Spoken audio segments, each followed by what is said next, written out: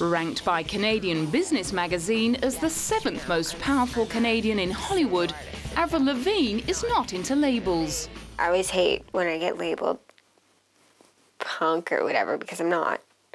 And I've never, you know, claimed to be punk, but um, whatever. Um, I always just found it really hard when I came out that people would label me because I'm like, why are you doing that? Like, I'm a person. You can't label people, like, give them one word and say this is what you are.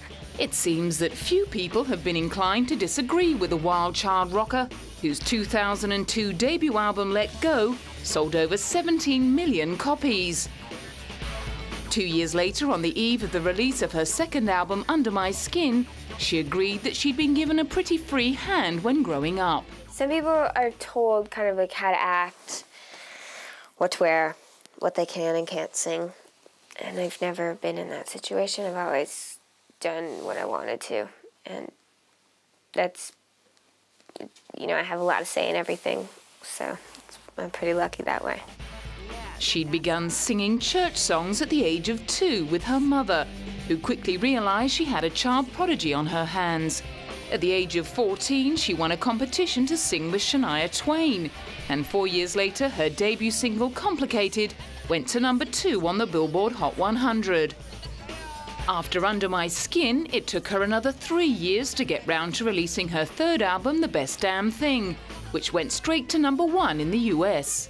Because I write my songs, it takes much longer for me to work on my album. And then I took my time with the album. I didn't want to rush it out. I wanted to make sure that it was really good. That was important for me. In the interim, she'd also found the time to appear in several movies and marry Sum 41 frontman Deryck Whibley. I don't feel like marriage has really changed me that much. I mean, just personally in my personal life, I'm really happy.